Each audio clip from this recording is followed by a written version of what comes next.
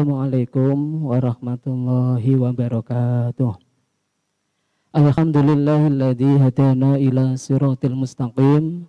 Wassalatu wassalamu ala sayyidil anbiya wal mursalin sayyidina wa maulana Muhammadinil mab'uti rahmatan lil alamin wa ala alihi wa ashabihi wa tabi'in wa tabi'it tabi'in lahum bi ihsanin ila yaumiddin amma ba'du Qala al-musannifu rahimahullahu taala wa nafa'ana bihi wa bi ulumihi amin. Rabbana ftah bainana wa baina qaumina bil haqqi wa anta khairul fatihin. Terima kasih pada Bapak moderator, tadi Bapak pembawa acara, Bapak Mada, Bapak Mada Haidar, kemudian anak-anak kelas 9 MTSNU TBS Kudus yang berbahagia, kita pada pagi, pagi hari ini atau siang hari ini kita melanjutkan materi sorof kelas 9. Eh, tadi sudah disinggung oleh Pak Mahda tentang uh, etika, yaitu anak-anak di dalam daring ini sebaiknya juga saling komunikatif atau interaktif. Karena ini bagian dari adab, kalau kita tinjau itu bagian dari adab ketika kita belajar Contohnya ketika kita walaupun secara daring itu seyogyanya juga kita e, belajar seperti kita bertatap muka.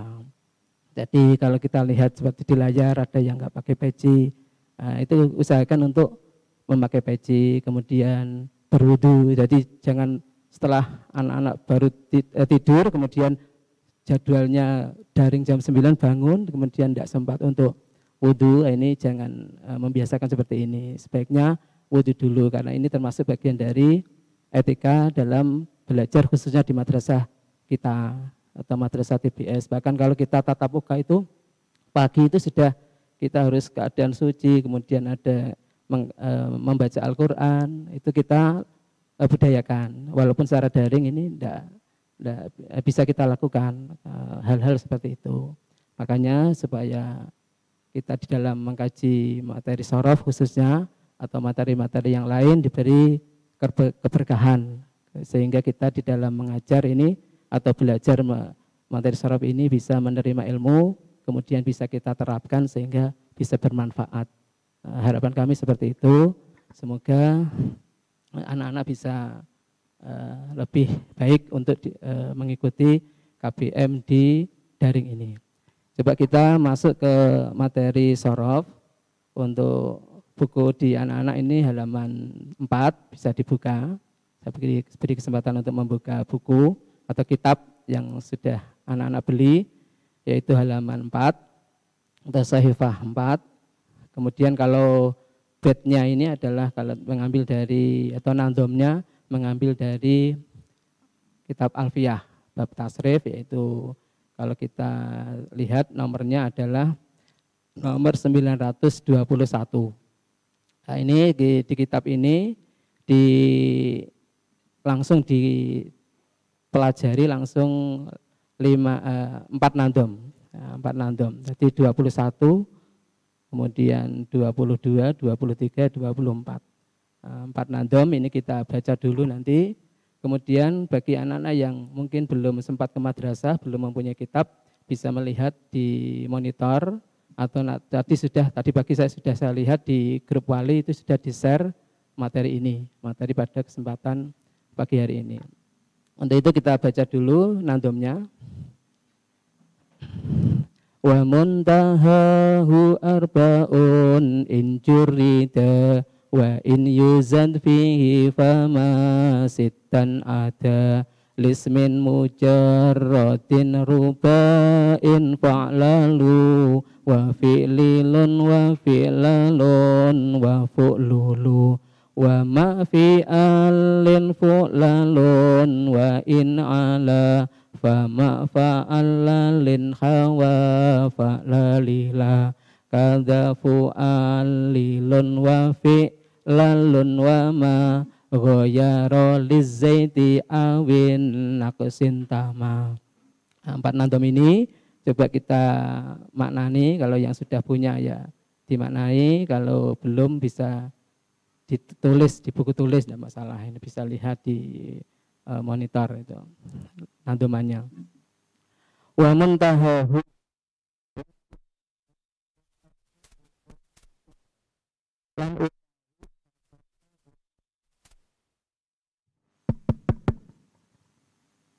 arba'un. Berarti petang huruf. Injurida lamun den sepeake tambahan apa fiil? Wa in zuzat lan lamun den tambahi apa fihi ing dalam fiil?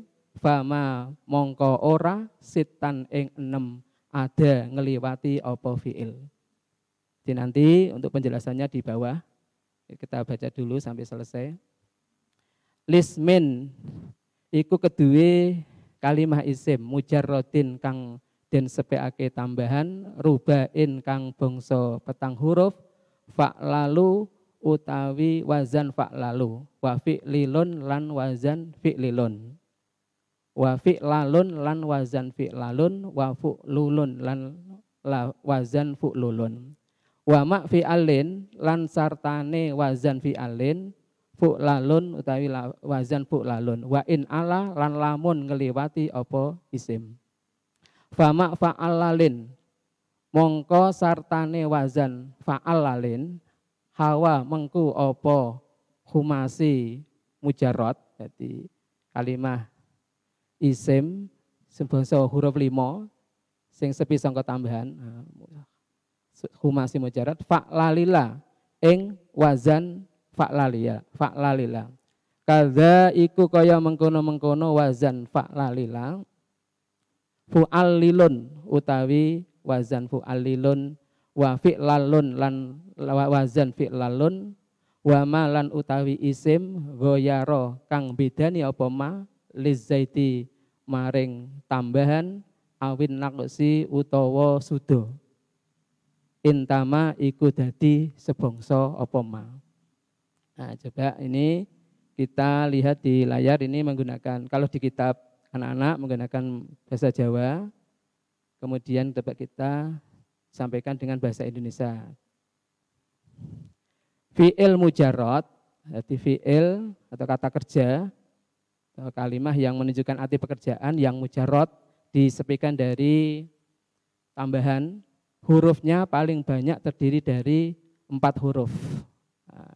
Ini bisa kita lihat di contoh fi'il mujarot. Jadi anak-anak harus bisa membedakan antara kalimat fi'il dan isim. Karena di sini juga isim juga menggunakan wazan. Nanti di bawahnya juga ada isim rubai. Jadi kali lagi fi'il mujarot atau yang sepi dari atau kata kerja atau kalimat yang menunjukkan arti pekerjaan yang ini sepi dari tambahan ini nanti hurufnya empat. Ini bisa anak-anak lihat di contoh ini. Contoh fi'il mujarrad yang empat huruf. Dahroja. Atau bahasa Jawa ini gelundungake. Atau bahasa Indonesianya menggulirkan. Betul ya Pak Mada? Menggulirkan. Gelundungake menggulirkan. Ini coba saya cari bahasa Indonesia.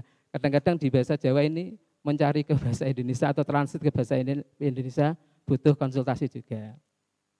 Kemudian ini kita lihat hurufnya. Dal, ha, ro, jim. Nah, ini empat. Ini tadi kata benda atau maaf kata pekerja yang tidak ada tambahannya. Semuanya hurufnya asli. Dal ya, dal, ha, ro, jim. Atau dahroja ini keempat-empat huruf ini adalah asli. Kemudian yang fi'il mazid. Nah, ini sedang fi'il mazid ini kita Tadi saya berhenti di koma, kemudian sedang fi'il mazid hurufnya tidak lebih dari 6. Kata kerja yang ada tambahannya. Ini nanti maksimal hurufnya atau jumlah keseluruhan hurufnya nanti 6. Ini bisa anak-anak lihat di contoh ini. Contoh fi'il mazid yang 6 huruf. Istaghfaro atau bahasa Indonesianya meminta ampun atau jaluk ngapuro. Nah, pekerjaan ini, pekerjaan meminta ampun. Kemudian kita lihat hurufnya ada alif, sin, ta, gin, fa, ro. Nah ini kita kita total hurufnya 6. Yang tambahannya yang mana? Mazid yang ini. Yang huruf alif, sin, ta. Eh, kemudian nanti kalau ingin mencari yang asli, kemudian yang tambahan, ini nanti bisa diikutkan wazannya. Karena ini eh, istighfar ini berarti mauzunnya. So, lafal yang diikutkan wazan. Kemudian kalau ingin mencari aslinya ya menggunakan wazannya. Kalau kemarin sudah kita cari, kemarin pernah pertemuan yang ketiga itu. Tapi membahas tentang kalimat isim. Isim yang ada tambahannya itu maksimal 7 kalau kemarin. Itu juga bisa kita cari aslinya, huruf aslinya menggunakan atau ditimbang atau bahasa ditimbang dengan wazannya. Nah, berarti ini tambahannya eh, tiga, kemudian huruf aslinya tiga, jadi totalnya enam. Nah, ini tadi ini fiil mazid. Kemudian kita membahas setelah membahas e, kalimat fiil kita masuk ke isim rubai. Jadi isim kalimat kata benda yang hurufnya terdiri dari empat. Atau sebangsa empat huruf. Mujarot artinya tidak disertai tambahan atau tidak ada tambahannya. Ini ada e, wazannya. Kalau kita cari wazannya itu ada enam. Nah, seperti ini eh, yang saya tampilkan di layar.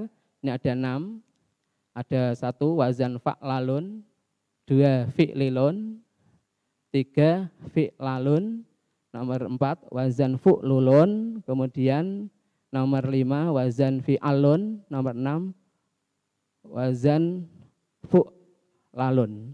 Nah, kalau di kitab anak-anak ini yang lamsani itu tidak diharokati karena nanti juga bisa atau eh, terpengaruh dengan i'rabnya. Kalau rafa ya domah ten atau kalau contoh bisa kita lihat ini wazan satu fa'lalun ini adalah jakfarun.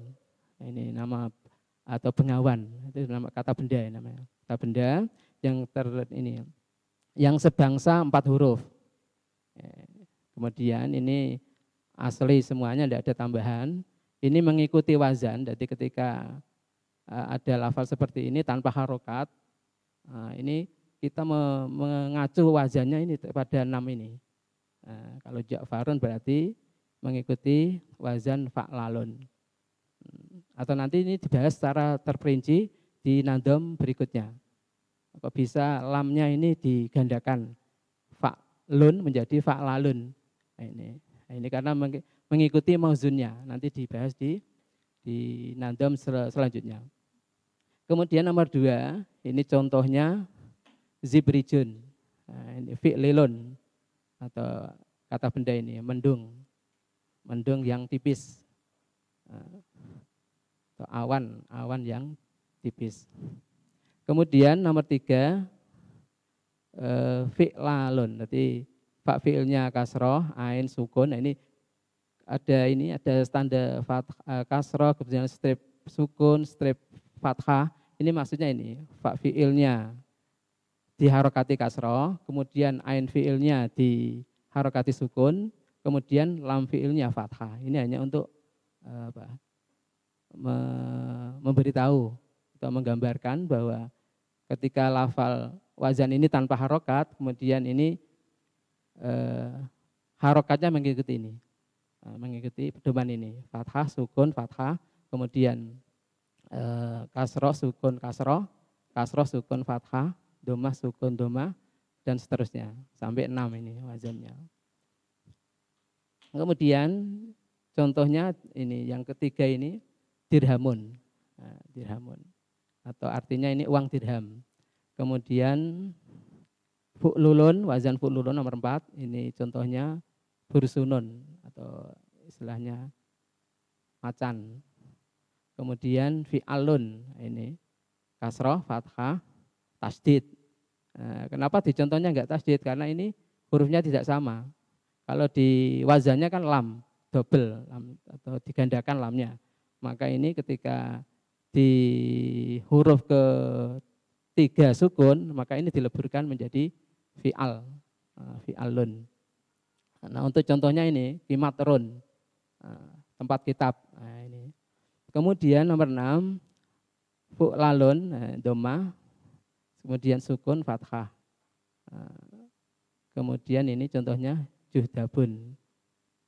Ini belalang hijau jantan. Juhdabun itu artinya belalang hijau jantan. Kemudian kita lanjutkan, tadi isim rubai mujarrot atau isim kalimah kata benda yang hurufnya sebangsa empat, kemudian mujarot tanpa tambahan. Kemudian kita masuk ke ini, isim humasi. Jadi ada kata benda yang sebangsa lima huruf, kemudian mujarot juga tanpa menggunakan tambahan. Ini wajahnya hanya empat saja. Wajahnya hanya empat. Fa'al lalun, satu ini fa'al lalun, dua fa'lalilun, tiga fu'al lilun, kemudian fi'lalun.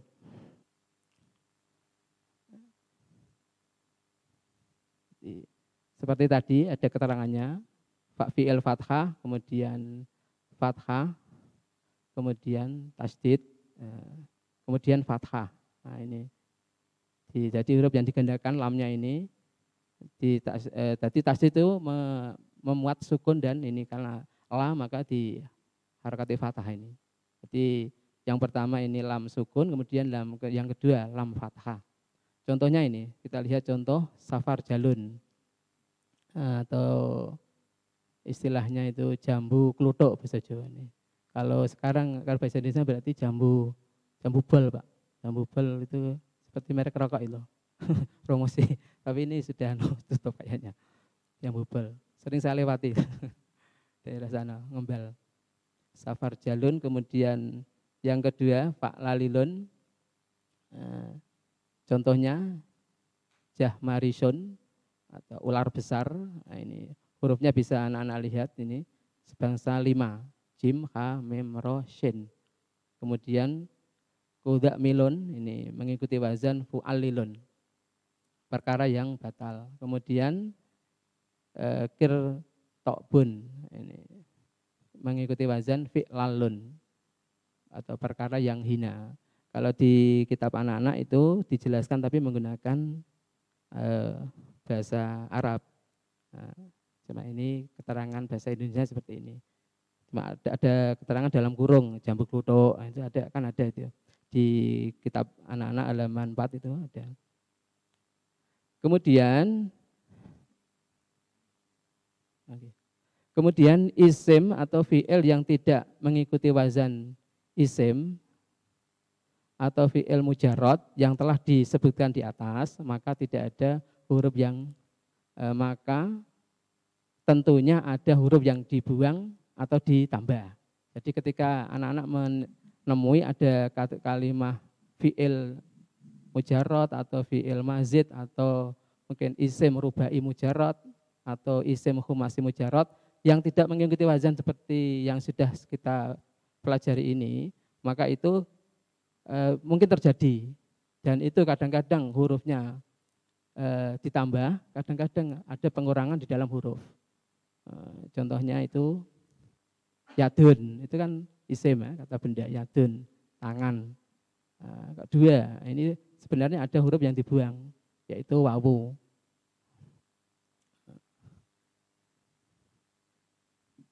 Ya daun, aslinya ya daun kemudian wawunya ini dibuang, maka menjadi dua huruf. Jadi kalau, kalau tidak mengikuti wajan di atas Pak yang Bapak terangkan, nah ini itu terjadi juga, cuman ini kadang-kadang hurufnya dibuang. Jadi tetap mengikuti wajan yaitu fa'alun. Nah, saya kira itu eh, mungkin eh, hanya yang bisa sampai saya sampaikan seperti itu, mungkin kayak ada mungkin ada pertanyaan nanti kalau bisa kita jawab kemudian eh, saya kembalikan kepada Bapak Mahda. Terima kasih kepada cek. Terima kasih kepada Pak Faroh atas materi yang telah disampaikan. Nah, apakah ada pertanyaan? Biasanya enggak ada ini. Kalau nahu sarof itu biasanya enggak ada. Entah paham atau entah tidak mau melongok nengarpan biasa